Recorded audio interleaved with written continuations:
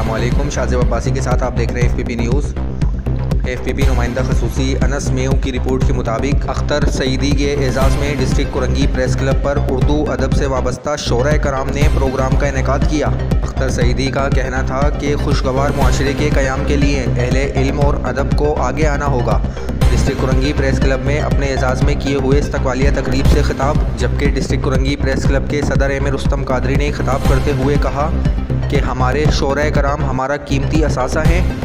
वजारत समाजी बहबूद को चाहिए हमारे फ़नकारों के साथ साथ शोर कराम को की हौसला अफजाई भी करें। प्रोग्राम की सदारत क़यामबाग ज़फ़र मोहम्मद ख़ान ज़फ़र ने की।